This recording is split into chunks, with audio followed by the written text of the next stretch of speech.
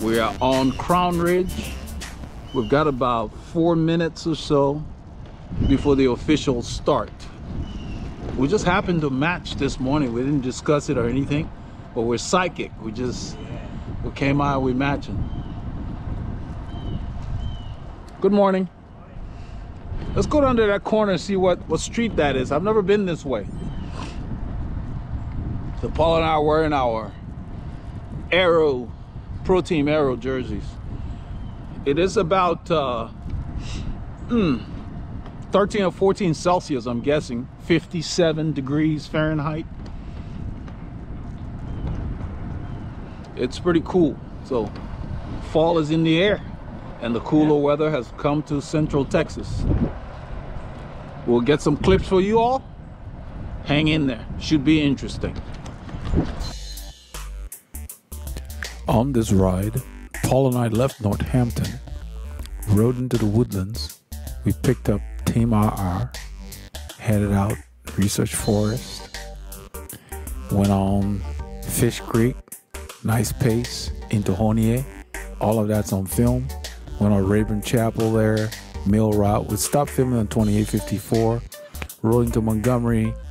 We left the group and went out on 1097 went through the forest. And while we're going through the forest, we saw them going the other way. We went through on 149 South. We took Hidden Forest Road to Mount Pleasant Road. Went on 1097. We started to film on 1097 into Montgomery. Came across Cristian and them. Then we rode back on Spring Branch. That's all off camera. Past Gary. We got into the neighborhood on Grand Lake Estates and once we got towards Honea, Egypt, we started to film. We got on our favorite road, took us back into the woodlands. I think you all will enjoy the clips we got for you. It was a beautiful day, very breezy. The weather was very, very mild.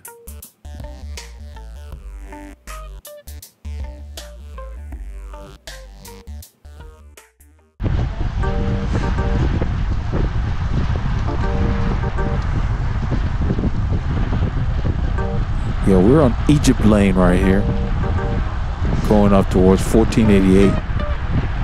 We just left Research Forest Drive. The pace was kind of quick.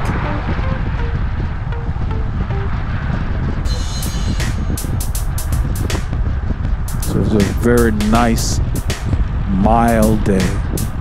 It actually was a little nippy. I did not put on uh, base layer, I just wore the Aero jersey because it warms up quickly. If we feel like going 100, we might. But I have a sore back, so I don't know. Yeah, was asking Paul how far we're going today. We'll see. Uh, this crazy Paul went and hammered himself on Thursday on a solo workout. And he showed up this morning telling me his back was bothering him after the workout. He was fine during the workout but he pushed so hard that his back was bothering him. Uh, he was doing large gear workouts, so we weren't sure how his back would hold up. Yeah. We're talking about Abby's sock. That's Mike S5 going to push the the pedestrian crosswalk thing there to get this light to activate. But Abby's wearing some socks where the sun hits them and they light up a bit loud for my taste. That's what we're talking about. I was giving Abby a hard time on this ride because he likes to go to the front, but doesn't like to pull, then he'll drift back and leave a gap. So you hear me telling, get up there. You know, you can't just sit at the back the whole ride. Just messing with him. He always likes to say we should have mercy. Yeah. But he's putting in more miles than anybody else oh, in the area because he's retired. All he does is ride. But then he comes and acts like, have, mer have mercy, have mercy. So he's our local sandbagger. and so we like to give him a hard time.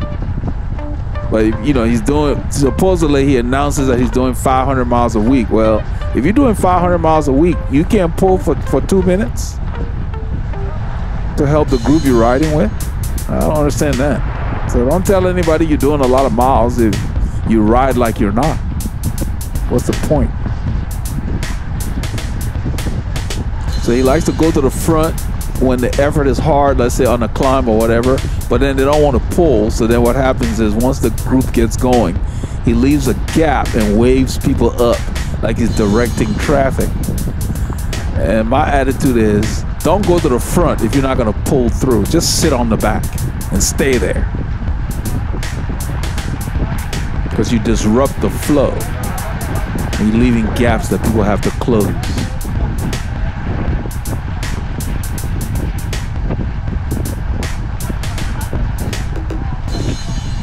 And when you're riding in the group, you don't really have to pull, but I think it's better to sit in a line, get to the front, and then just pull off if you don't want to pull. But at least go through the line. What's the point of being in third or fourth position and then drifting to the back?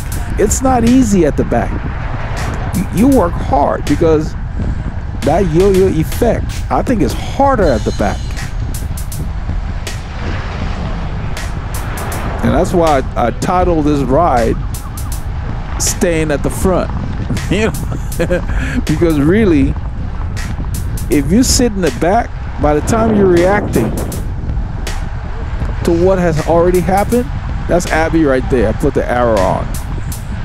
By the time you're reacting, the, the people at the front have already put an effort out and they're probably resting while you're still working trying to catch up. So I think it's easier to stay in the line you know, maybe mid pack or further up, even if you're not in top condition. Just being in there shelters you better than sitting at the back.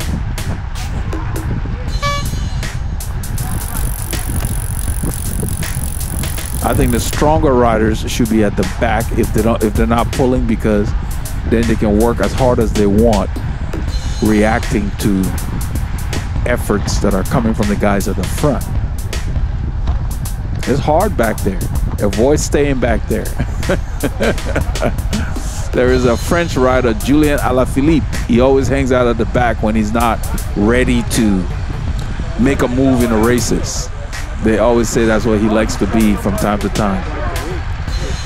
But I'm sure he's got a reason why he's there because it's not easy back there. So you see how we're rolling here, and these guys are like what I call pedaling backwards. You see Abby here? He was at the front, now he's drifting back and he's motioning people to go through.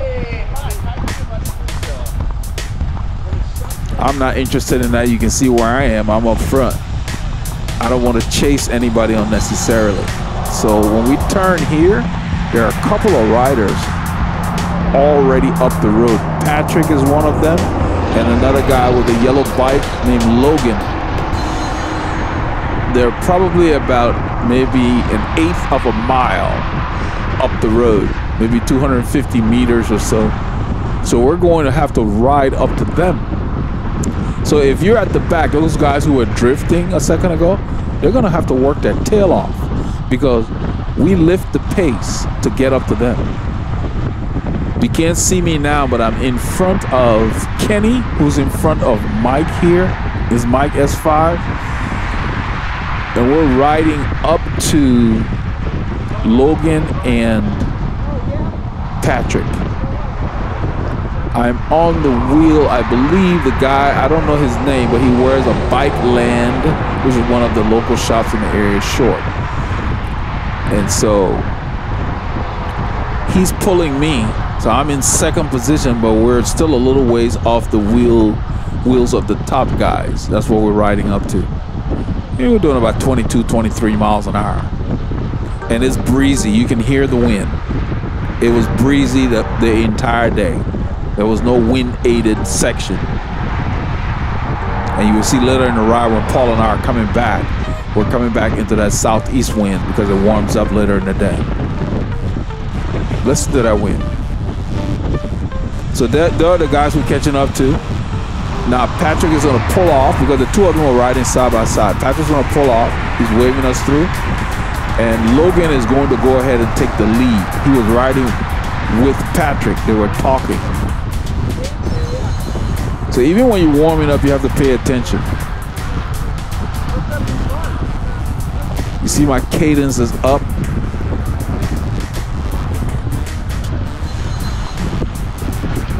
I've been busier than normal the last few weeks, so my training has been kind of spotty.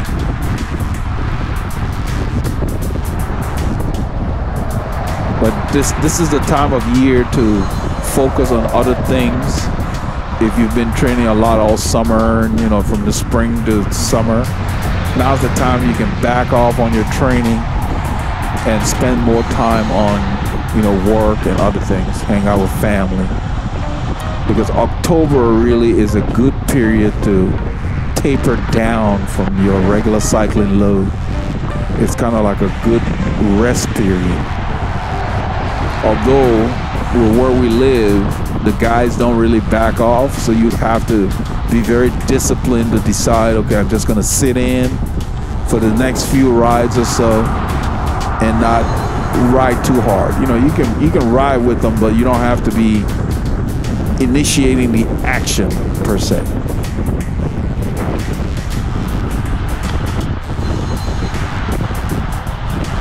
All I'm doing is following here. Even later in the ride, Dan will ask, are you one of the guys that started this? Because we ended up just riding so hard.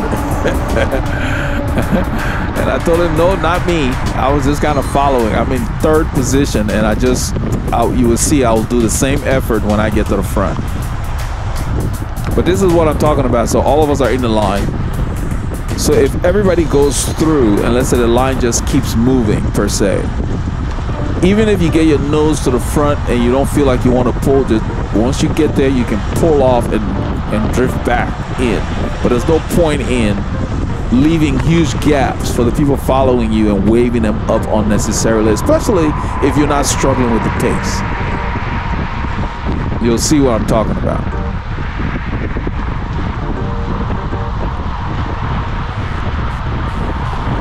So that's Kenny on the right there. Usually rides with the WCC boys.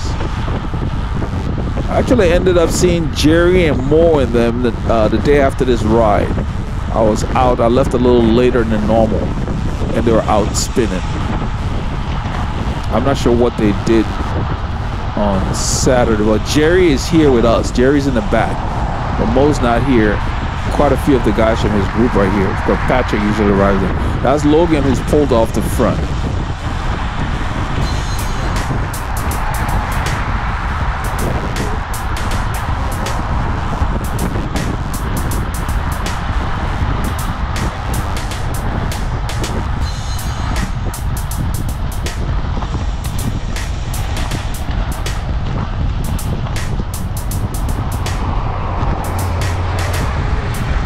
This light is a short light. I believe we, we get the green.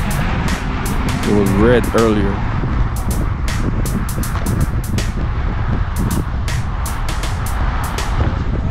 So when the speeds are this high, 38K is about 24 miles an hour. 23 to 25 is what we're riding. About 23 right now. Up is breezy. It's a false flat. It says 1%. It's a little more than that. But this whole time we're riding up. So you want to stay close or you waste a lot of energy.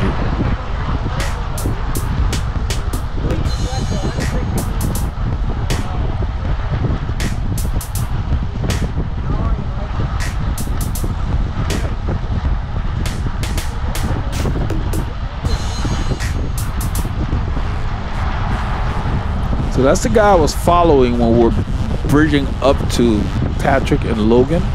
He finishes pull. I go to the front. I keep my cadence high and I keep the effort about the same. Now my heart rate has gone up probably 10 beats, 10 to 12 beats once I hit the front. It was like 152, so about 13 beats I was in the back. I don't monitor that when I'm riding. All I'm doing is trying to keep the effort the same by feel. Two and a half out of five, something like that.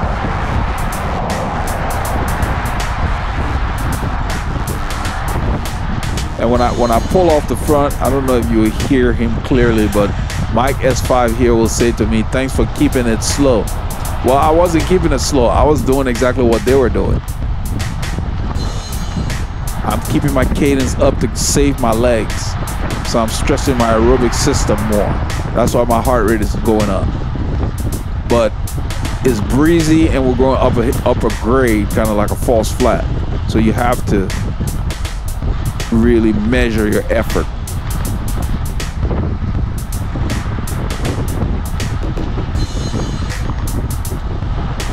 I intentionally pulled for exactly 120 seconds, about two minutes. I looked at the clock when I got to the front and I stayed there for exactly two minutes. Right there, I just drifted aside. Kenny takes over.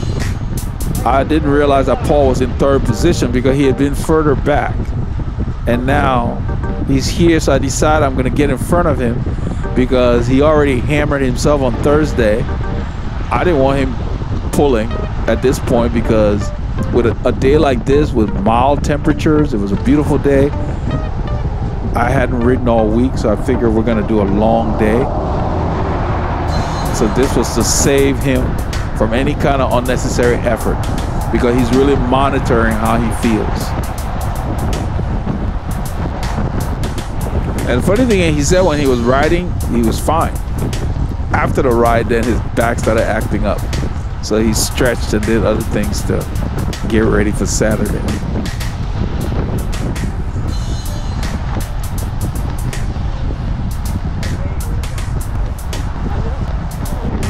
I was only able to get out on Tuesday, so I was busy with other things the rest of the week.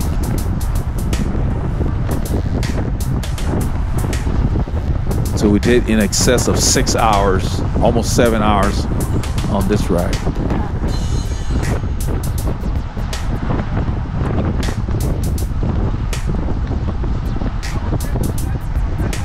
So the goal here right now is just settling into some kind of a comfortable zone, get some kind of tempo going. When I initially pulled off, my heart rate was in the 170s. After I accelerated to get back in the line, I had settling down. I don't really pay that much attention to it. I focus on staying relaxed and making sure I'm maximizing my mechanical efficiency. I am not spinning a high cadence because I'm in the line and kind of just cruising at this point. You know, you gotta have to mix it up.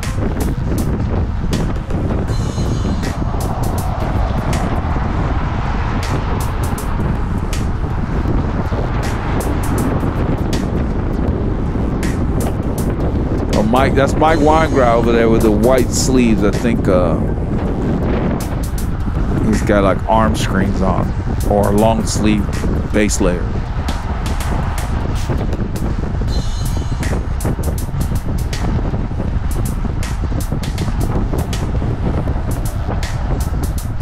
It's gonna be in excess of 24 Celsius by the time we're done, so I just put on this Aero jersey because it has good coverage and I figured it would work. It worked out great. It was perfect.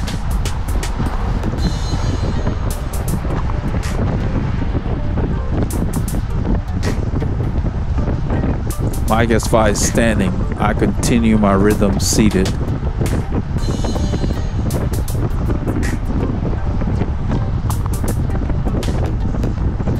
Kind of a punchy little bump. And we're coming towards Ridge Lake Shores. I think it goes to like two and a half percent. It's short, but it gets there in a hurry.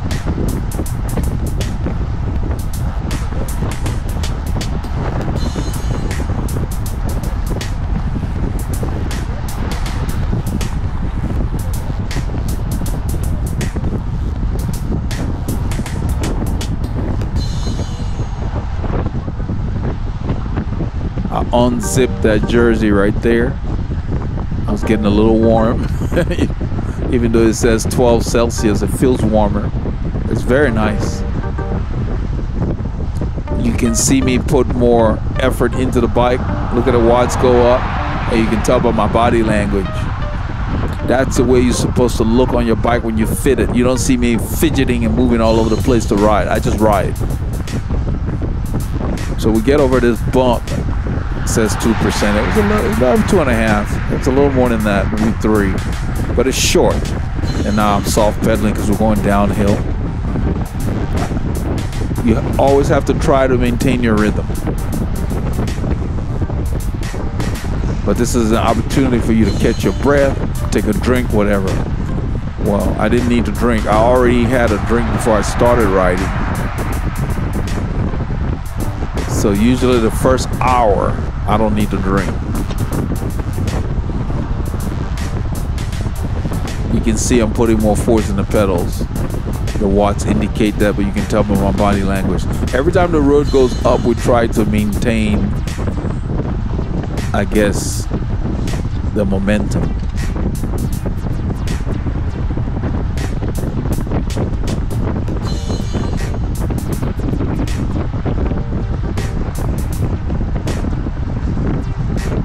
Following very closely. I'm within about a foot.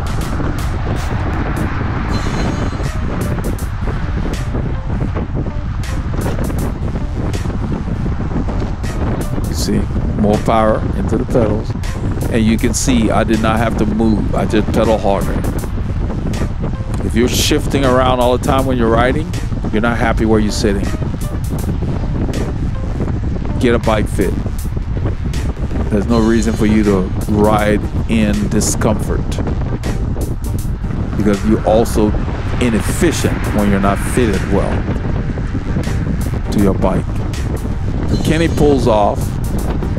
Mike S5 is pulling.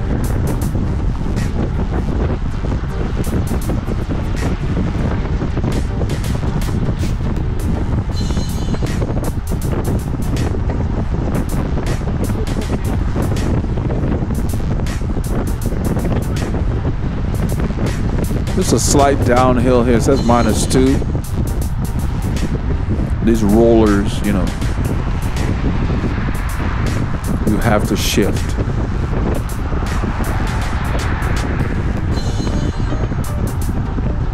We apply more power here.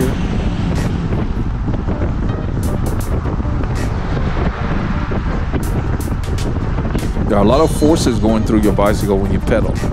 So you need to make sure that you fit it correctly so you don't injure yourself.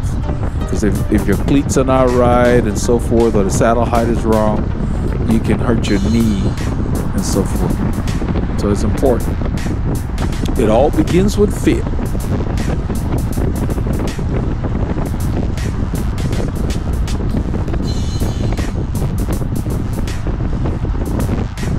I stay a little to the left because I'm just being sucked into his wheel here. So I'm trying to catch some of the wind and slow me down.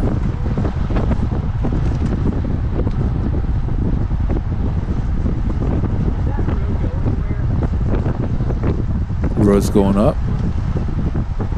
See the watts go up.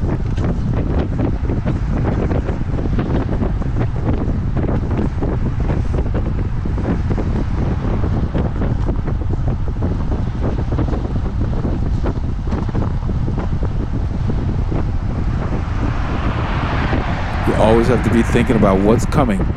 I see the overpass. We know this route. It helps when you know the route. Kenny goes back to the front. He lifts the pace. I go ahead. Mike S5 pulls a little to the right, so I move around and carry the pack up to Kenny's wheel. Kenny looks back, so he wants to do some work up here. So I sit on his wheel here.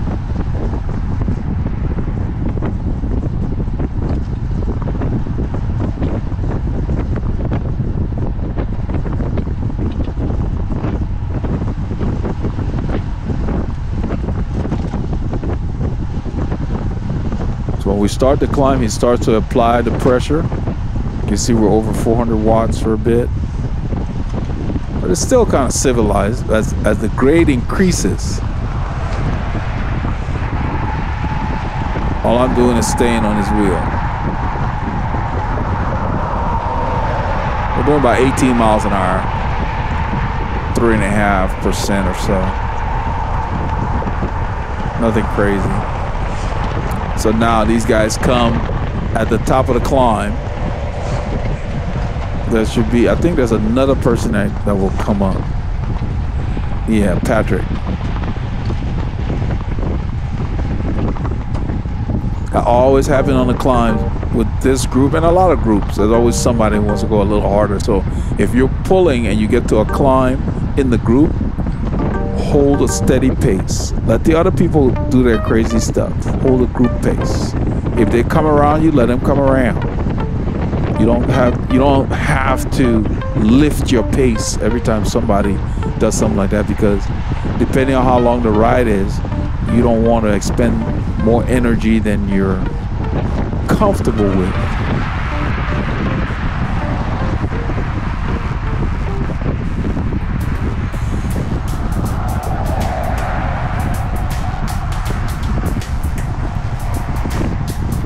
See somebody put the power down.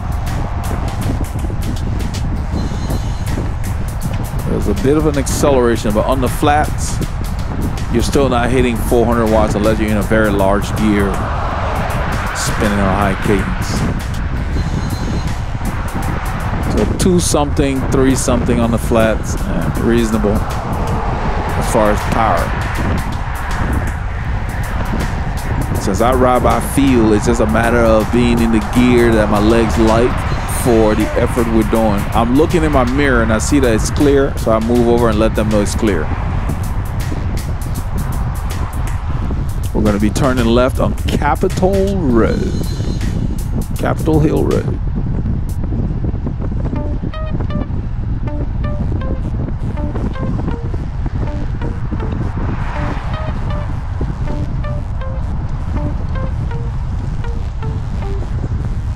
Watch, I'm going to stay close to them.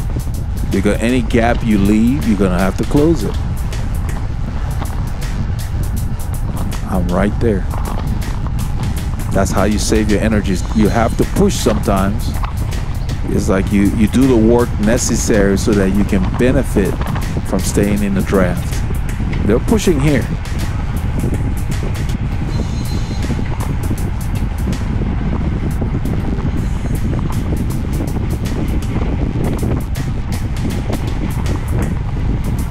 So you have to be able to spin a high cadence medium, low cadence. Sometimes you gotta push. You gotta be able to do all of it. Don't be a one-dimensional rider. That limits you. Right now I'm spinning a high cadence, about 100 RPMs. Because it makes it easier to keep up with changes in speed, especially on the flats. I don't spin too higher cadence when I'm climbing for an extended period of time because it really taxes your aerobic system. You can do that for short periods to change the pace and so forth. But you got to find the rhythm that works for you.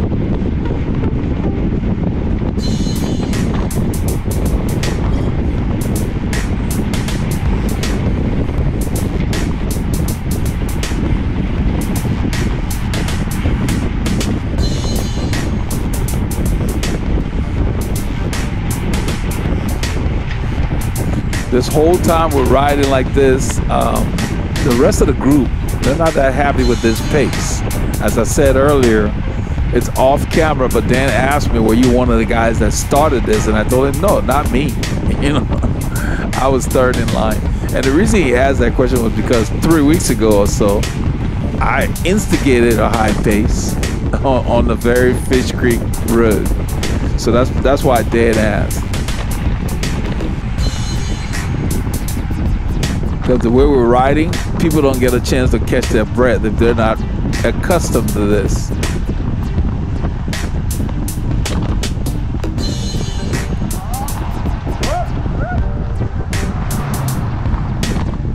But you have to be diligent.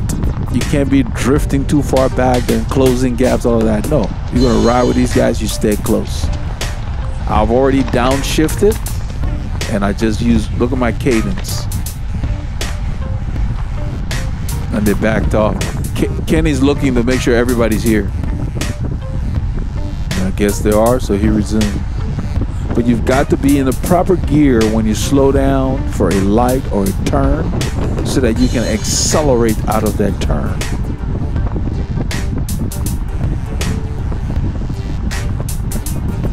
And you need to be in the proper gear when you stop at an intersection. You need to shift before you stop.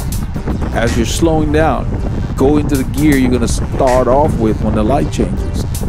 There's no point in dragging a huge gear through an intersection, struggling and straining your whole body. We're in a straight line. The pace is hot. They could draft a, a little closer than they are. Uh, you know. I'm staying about a foot off of Kenny's wheel.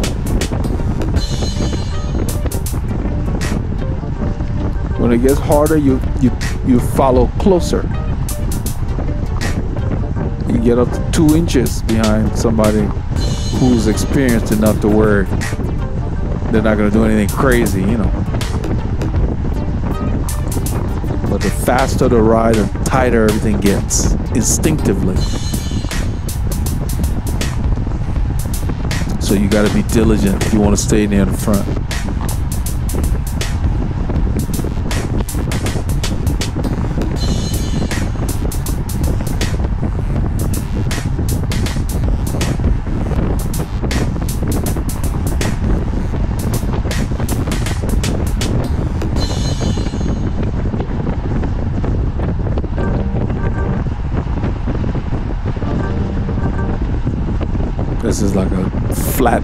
Here.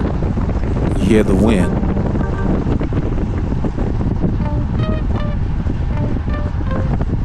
So we're moving at a good clip. Between 23 to 25 miles an hour. See my high cadence? That's to close the gap. I'm reacting to the changes in pace that's going on. And it's mechanically more efficient especially on a very flat road, to use a high cadence so you don't strain your legs.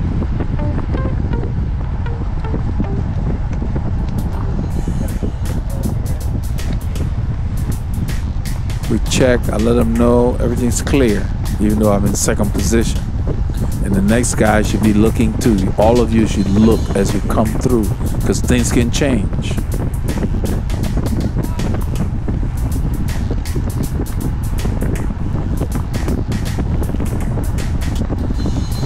You look at our shadows, you get a better better idea how tight everything is. I'm staying on Ken's Kenny's wheel closely.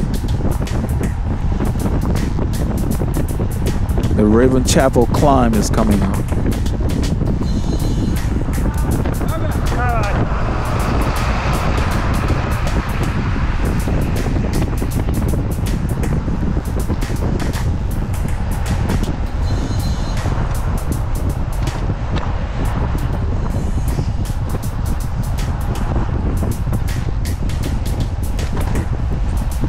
Towards the end, Kenny will actually stand up and lift the pace.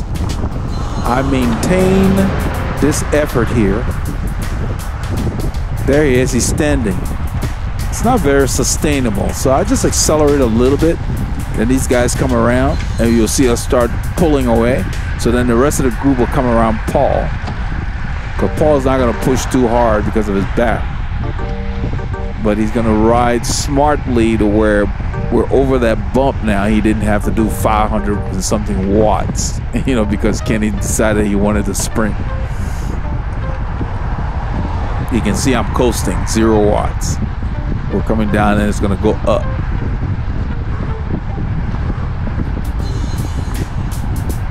I hear Paul deep breathing back here. Somebody's on his wheel. It might be Mike S5. The road goes up. It's a short bump here, sprinter's bump. Not as steep as the other one we just did, so it's mild. I'm sitting in, so really the watts are low. And I must be soft pedaling right now. This is Jerry Lutner in front of uh, Paul here. He came around the climb when Paul let that gap open. So what Paul did is, what I was talking about is somebody's going crazy at the front. Doesn't mean you got to kill yourself to keep up. He just kept his effort steady and he's still here. So in a few kilometers, he's gonna intentionally sit up in the pack, and we see him, and then we go around him. You'll see that on film. And then he tells me later that he just had to back off the effort. So right here, we'll come around that corner, and nobody wants to pull. So Logan's going to the front. This is what I was talking about. Remember, all these guys came around, but nobody wants to go to the front to get that nose in the wind.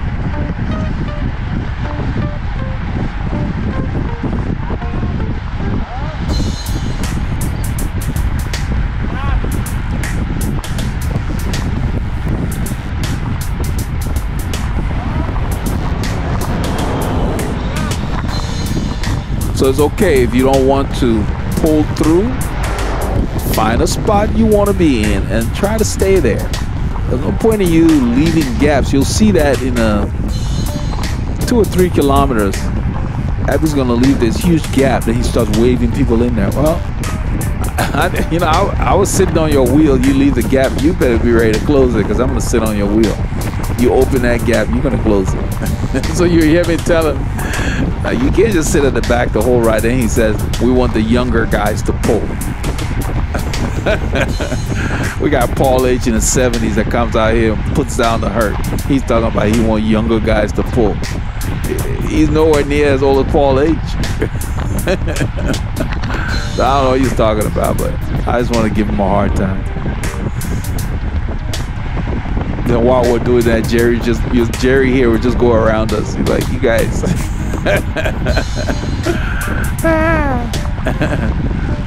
oh man. I'll go ahead and take a drink right there.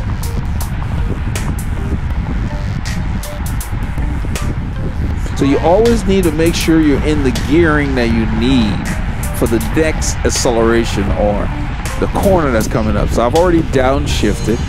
We're gonna go around the corner. Your goal should be stay in the same position, maintain your position in the line.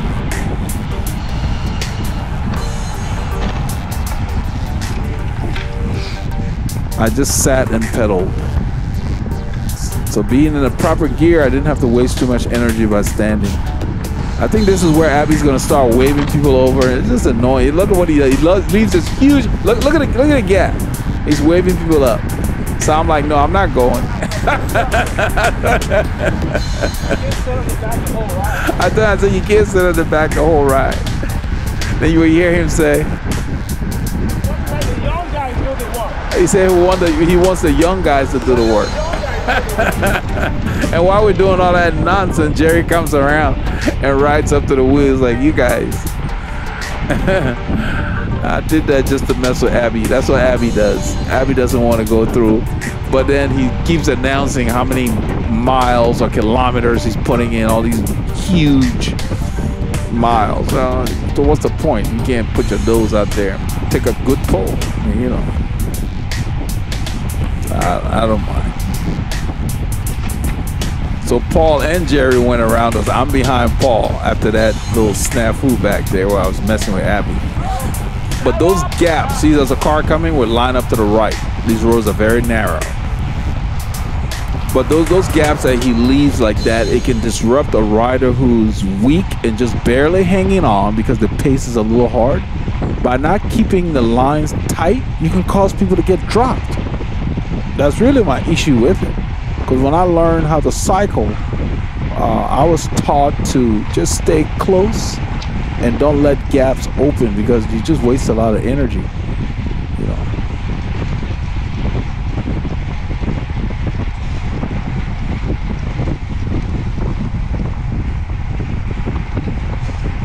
you can see right here, if you look at my watts, 300 plus, it was like barely 400 a little bit. This is a climb that we're going up. I'm behind Paul.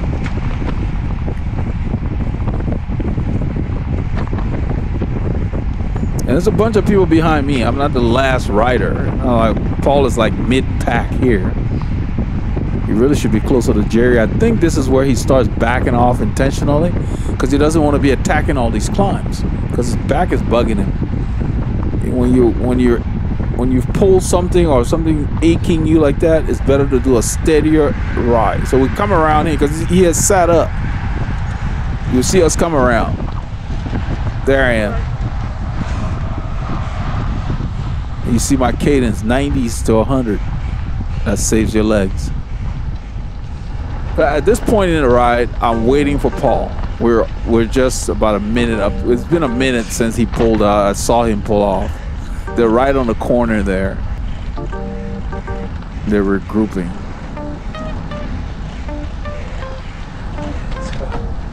I had to back off the effort a little bit.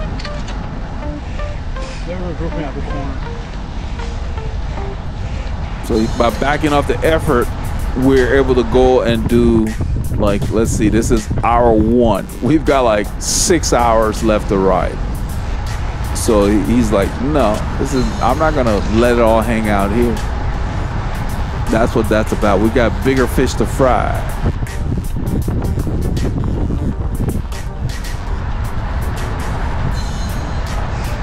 They're standing on the corner. Some people are taking health breaks. That you see Patrick on the left there. And so we're going. To, I'm just going to motion to them that we're going to keep rolling. I motion to Abby as we go around the corner.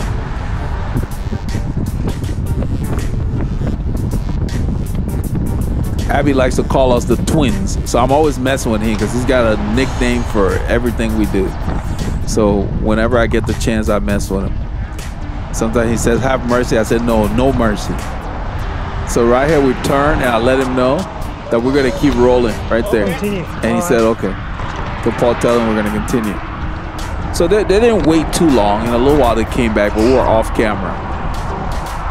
Yeah, all right, legends. On uh, 1097, heading south. My brother's pulling. This is three hours into two hours later. So we get some clips. We've we've gone we left left the group and went we went further north than they were going. We went through the forest we took Mount Pleasant Road now we're coming back on 1097 south towards Taco Corner. This is our it will be our first break. In a few kilometers Cristian and a couple of other guys are going to come by. Yeah this is blowing that's the thing that happens when we get these fronts that bring the cool weather. As the day warms up, the the, the, the, the weather from the Gulf, the, the wind, the southeast wind starts to take over. So now coming home, it's in our face and from the left. If you look at Paul's bandana, it's moving around. So there was no free ride on this ride. I'm hearing some kind of like a sweet, like a squeaking noise. Sounds like it's coming from my wheel.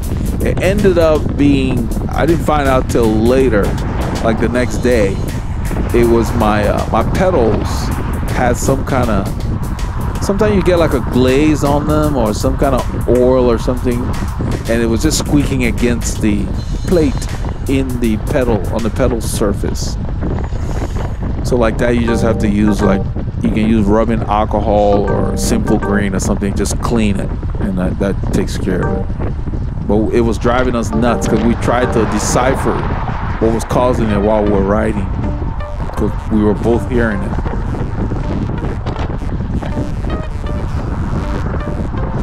Everywhere they join these bridges, they're never that smooth. Sometimes you get lucky, but for the most part, there's a little lip there.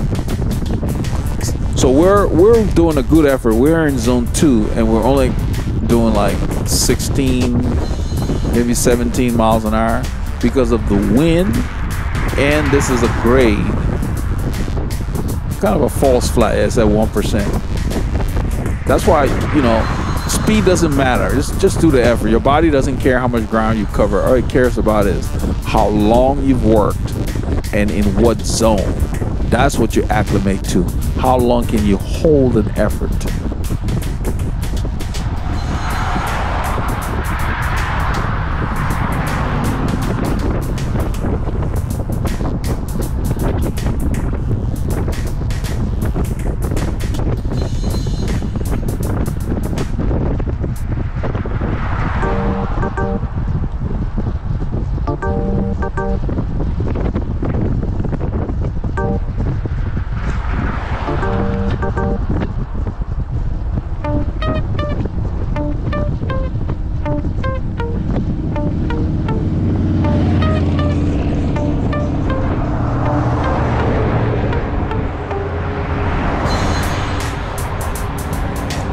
The shoulder narrows here.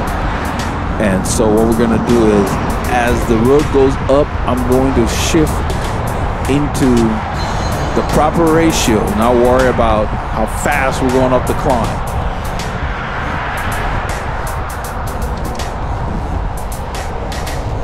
I think I actually get on the small chain ring and probably put it in a 17 or 19, something like that. We're not going very fast, but you can see our effort is higher than it was half a kilometer ago.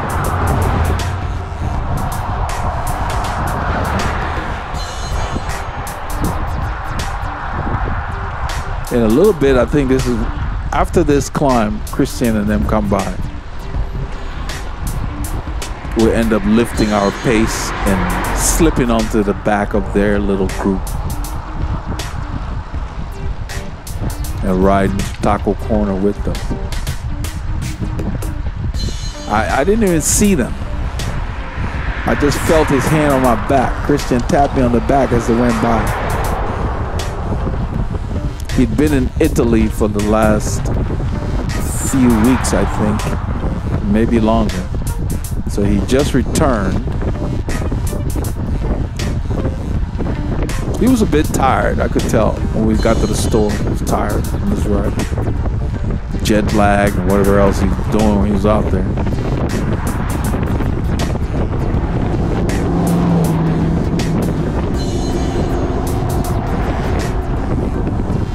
you can see how the terrain affects the speed that registers. We were doing 19 kilometers a little bit ago. Now we're doing 34, 35. There. Hey. And when he tapped me, I was like, I called it, called it, and I recognized it, and then I go ahead and lift the pace. And I keep my eye in the mirror, and I see that Paul is there. So I said, okay, I didn't shift. I just, the same gear, I just pedal faster.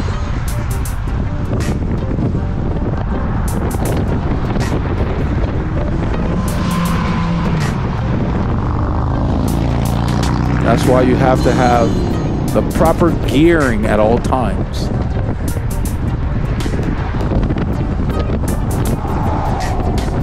And that wind was just pounding us. When we told Cristian what route we were going to take home after we stopped at Taco Corner, he told Paul, he said, that's still too long.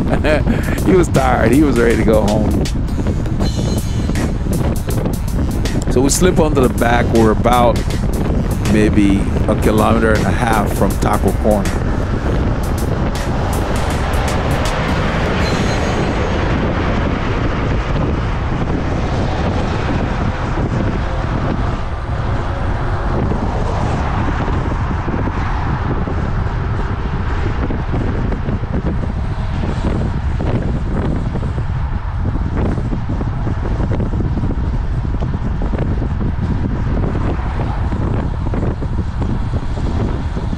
That's the climb before Taco Corner that everybody kind of sprints for.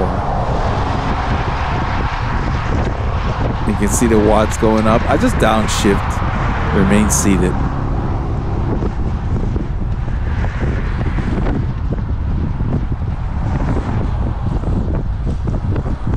It was just a slight acceleration more than a sprint. Check my mirror, it's clear.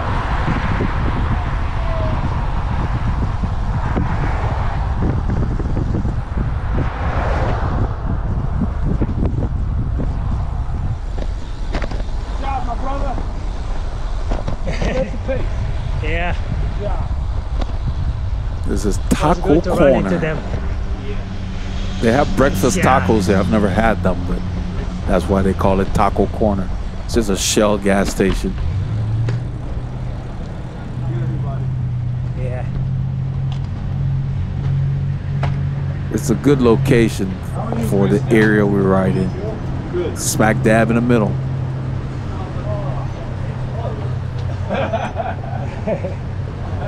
How is he late? I was asking him about his wife. Yeah, I saw.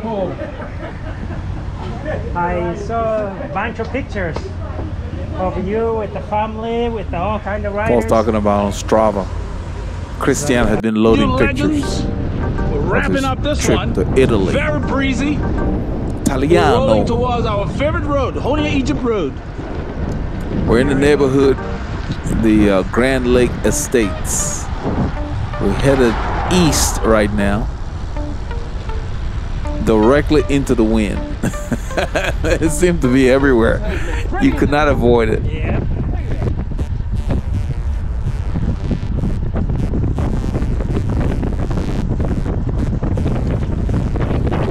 Listen to that wind.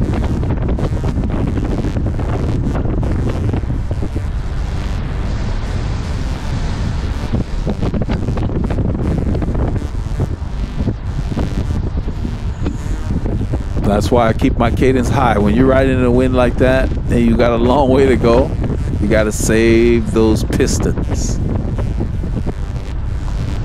There's nothing macho about crawling home in a large gear that you can't handle. The French say you should always use the smallest possible gear for the speed you want to maintain or the effort.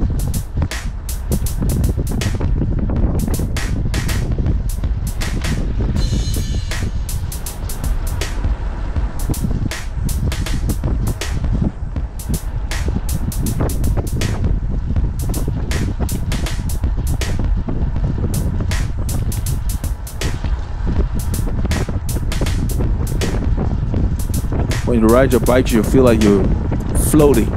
That the bike is just there and you're riding at a point in space.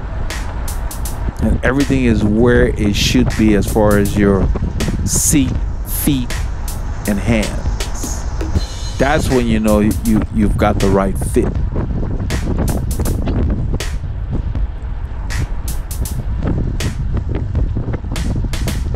Care how expensive the bike is. If it doesn't fit you well, you won't enjoy riding.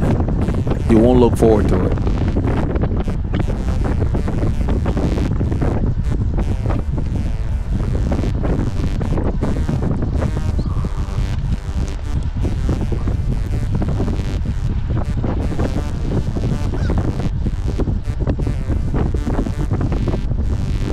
So the road's going up, and we got this wind just pounding us from in our face and from the right. Southeasterly wind. So the wind switched during the day.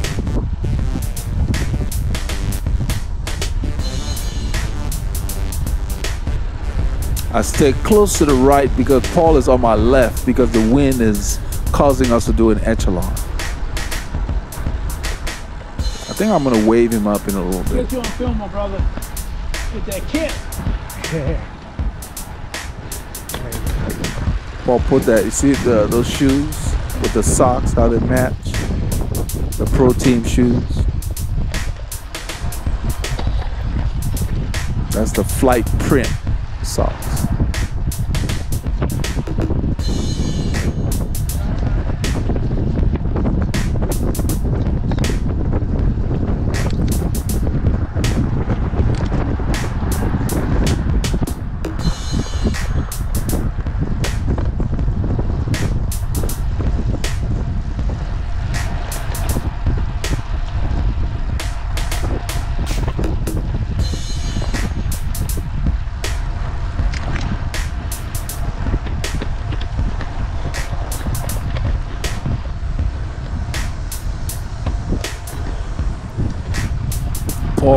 Rode uh, his other bike, Blade, during the week. so on this ride, he was telling me, he said, "Man, I took out Blade and it beat me up." Blade is uh, the uh, giant propel. It's uh, it's a, more of a criterium kind of bike. It's not for the kind of riding we do. It's not a pure road frame. So you really have to select frames that uh, complement the kind of riding you do. And the Blade Free was one of the ones where Paul won in a raffle at work. So, you know.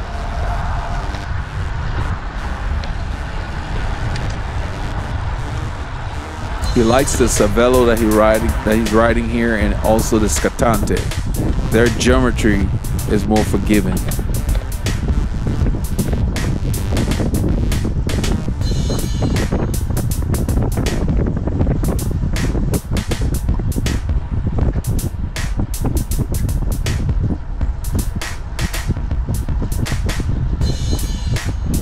See it's 30 Celsius. Three hours ago it was 12. That's so there's a joke uh, in our ear that say if you don't like the weather in Houston, wait a few minutes and look outside. it changes a lot. but it's a pleasant 30 C. It's, it's a little warm. The kid worked perfectly for the weather.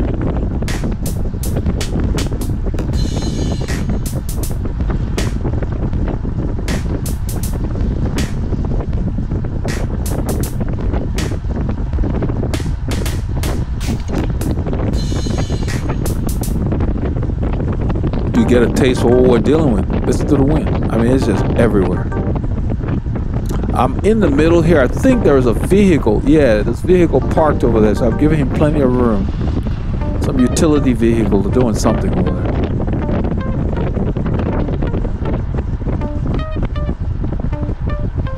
So when it's windy like that, you want to make sure, even more so, you maximize your gear selection.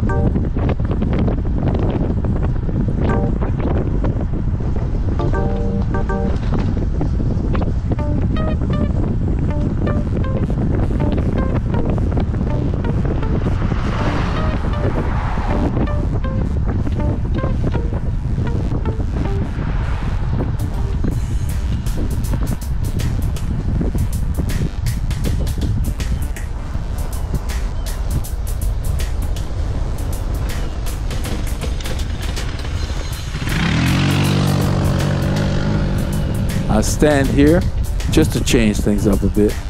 I'm in a slightly larger gear.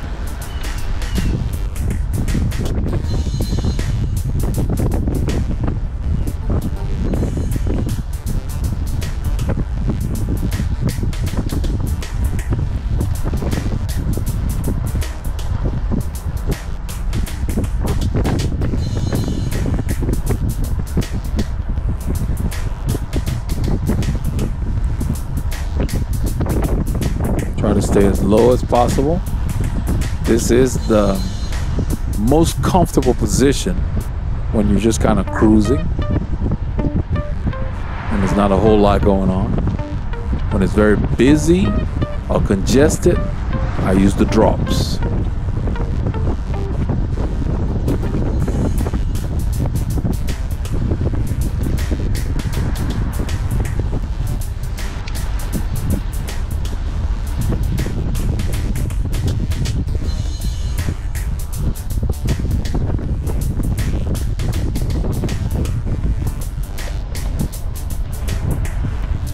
Get to this intersection. I'm not sure if the black car is going because he looks like he's parked on the left there. Then he signals. I'm like, what is that? Just go, you know. I don't pause it. Really? You need a signal here? oh man.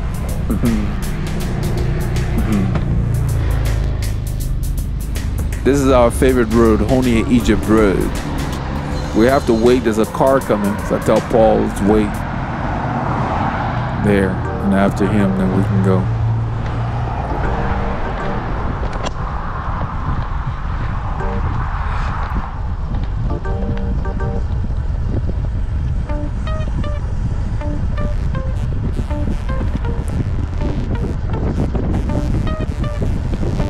There's another road user in our lane I'll go ahead and stay on the smoothest part of the pavement right there. You see the little piece that it didn't scrape? That's what I'm using.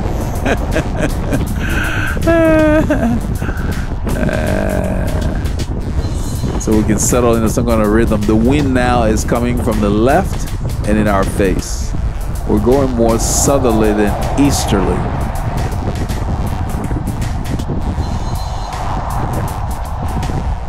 But we're going in a southeasterly direction, so it doesn't matter. The wind is everywhere.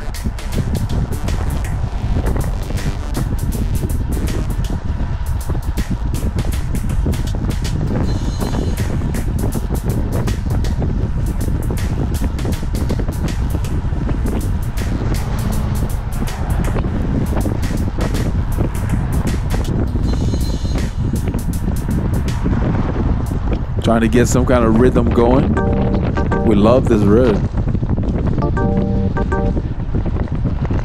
It just makes you work.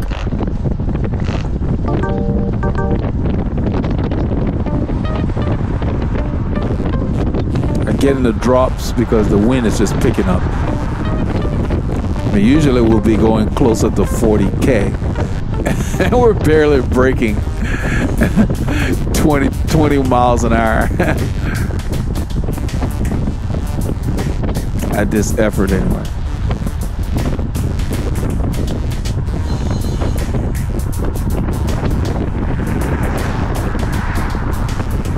Just very, very blustery and breezy. We get that a lot when the weather's changing on us all the time.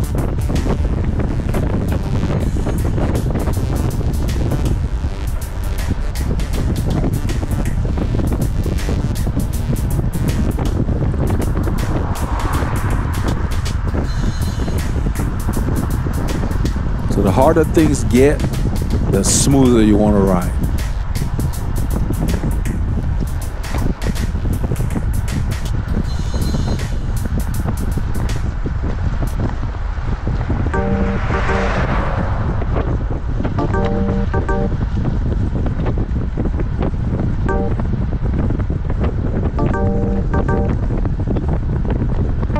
I stay in the drops. It just felt better at this point with all that wind pounding around in all directions. I like to stay on the right on this ridge here. I'm dodging the reflectors.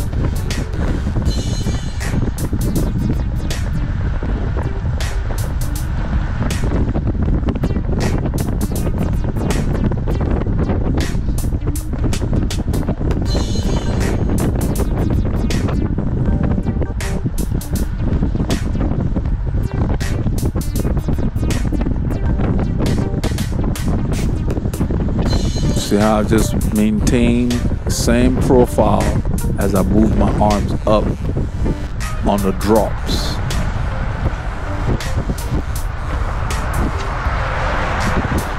The road's going downhill, that's why the water low. Slightly down, downhill.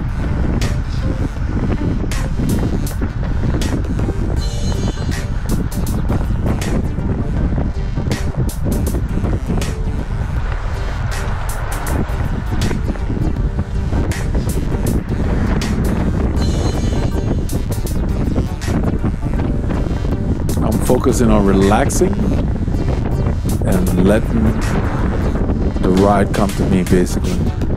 There's no point of force anything here. Especially since we've got that bump coming up at the end and the grind for another two kilometers or so after that.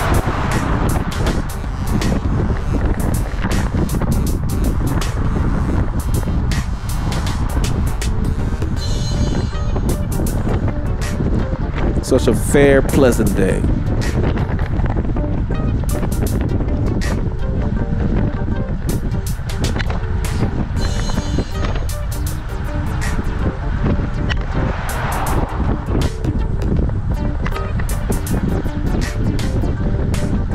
I've got a good rhythm going, I want to just maintain it.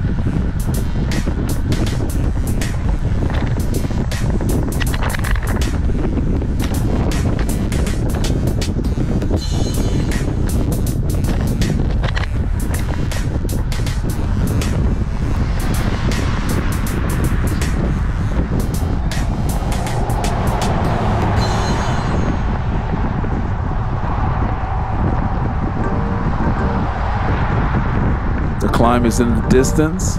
You will see the speed start going down as the grade kicks in.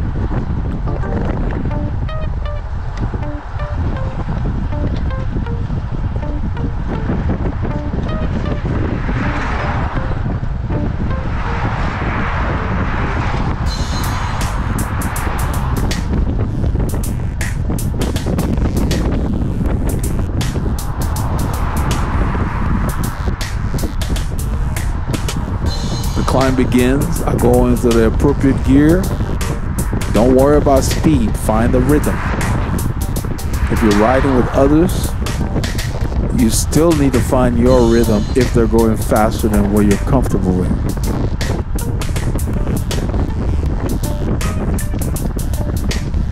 Right there, I get on a small chain ring.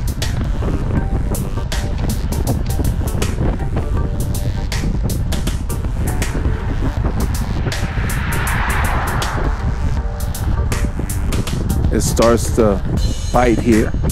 It's going to get up to 5%. And it gets there a couple of times. It says four, yeah, five, there we go. And then after the light pole, it gets back to 5% again. There.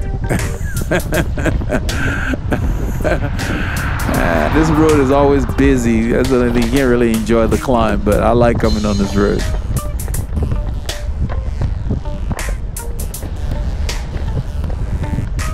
I left it in a large gear. I stayed on a big chainring and just as it settles, my cadence will go up. I didn't let them go below 70, I believe.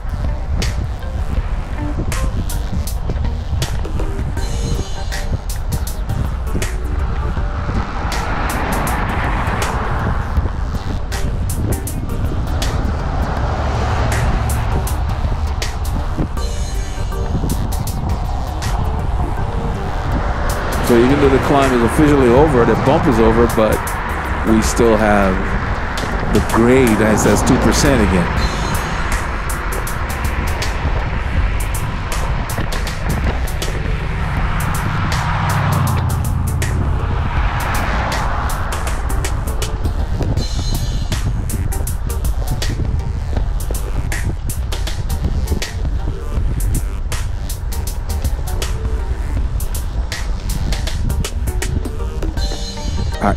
Ease into it. Only shift when I absolutely have to.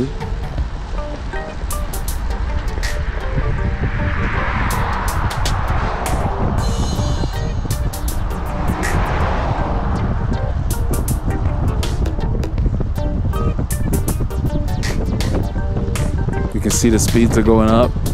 Effort stays about the same. But the terrain is changing.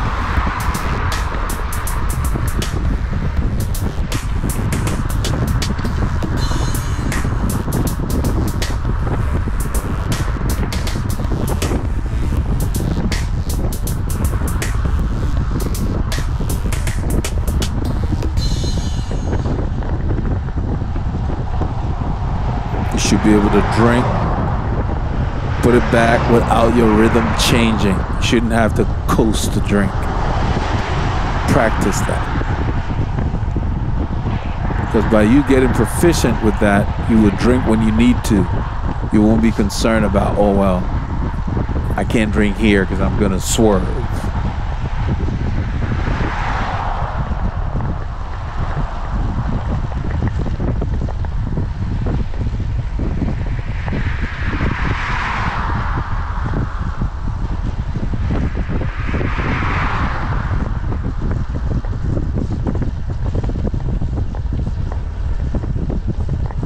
you just focus on the effort, focus on the sensations that you feel.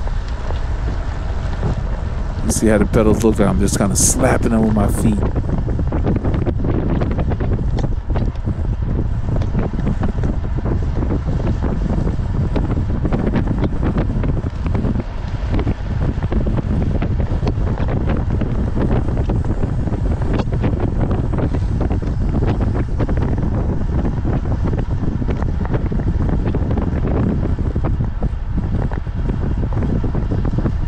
As the terrain changes, the same effort yields a faster pace. It got easier, so I shifted up a little bit to keep the effort the same.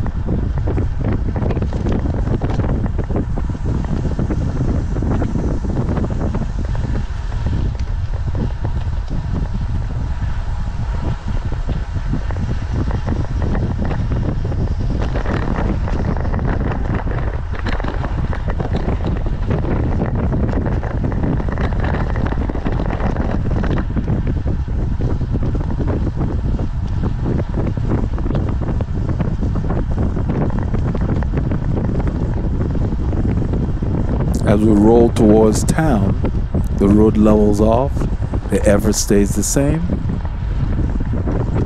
and we just start going faster.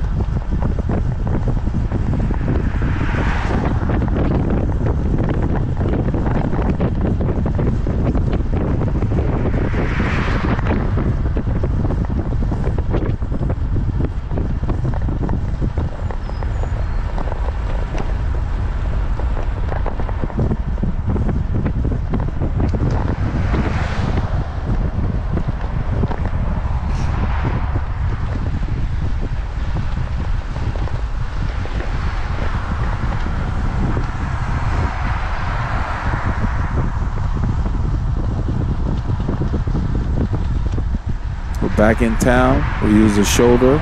It's a little busier than the roads we've been on. It's past, a little past 12:30 on a Saturday. Everybody's out running errands.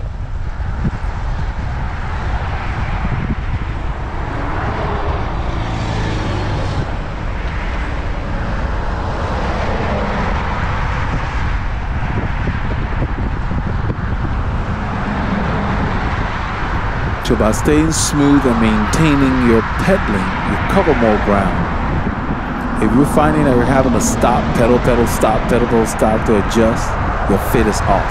You shouldn't have to.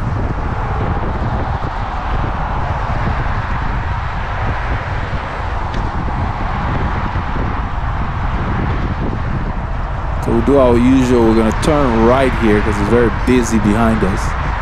We'll do a U-turn behind that come behind that truck. As soon as we turn, the light changes for this side. There we go. Respect.